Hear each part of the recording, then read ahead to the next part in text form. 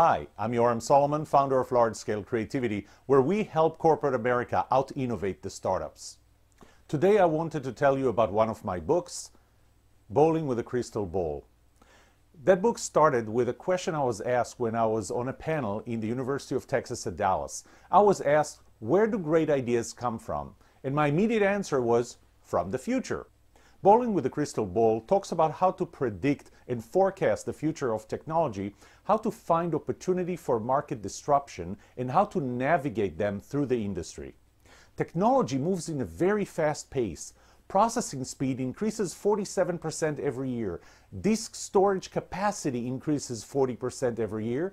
And even digital camera resolution increases by some 17% every year.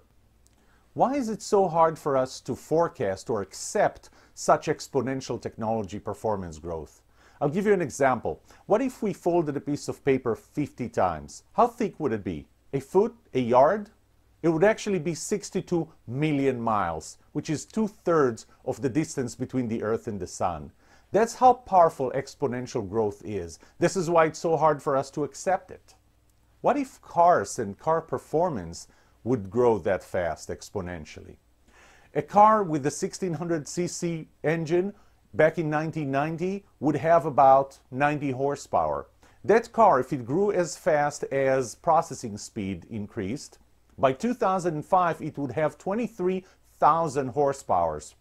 And by 2015 it would have 880,000 horsepower. That's how powerful exponential growth is. And this is exactly what Bowling with the Crystal Ball is about. The book has three parts. The first part talks about forecasting the future of technology. It starts with the psychology behind it, Moore's Law and beyond.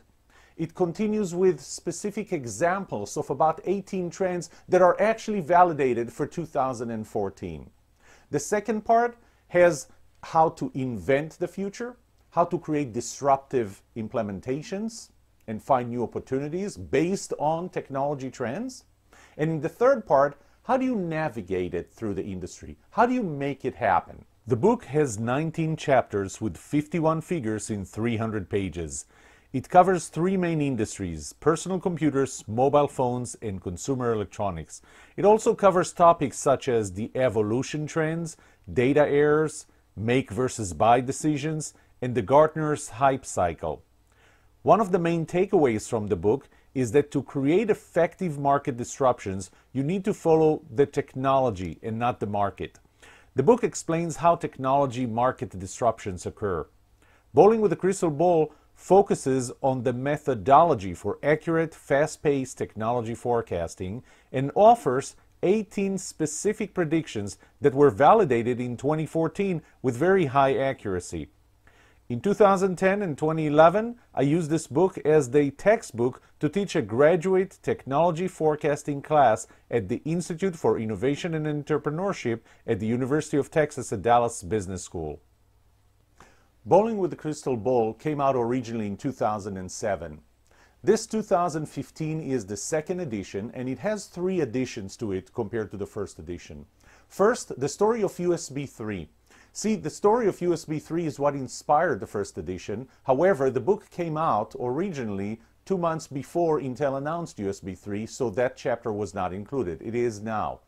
The second edition is the book was written in 2007 and there were 18 specific forecasts made for seven years out. Seven years would have been 2014. So the second edition includes the validation in 2014 of those trends, many of them. And the third edition is the introduction to the book I'm currently writing, Unkill Creativity. For more information, check out our website, our Twitter account, LinkedIn, and Facebook. Bowling with the Crystal Ball is available for purchase on Amazon. Once again, I'm Yoram Solomon, author of Bowling with the Crystal Ball and founder of Large Scale Creativity. Thank you for watching.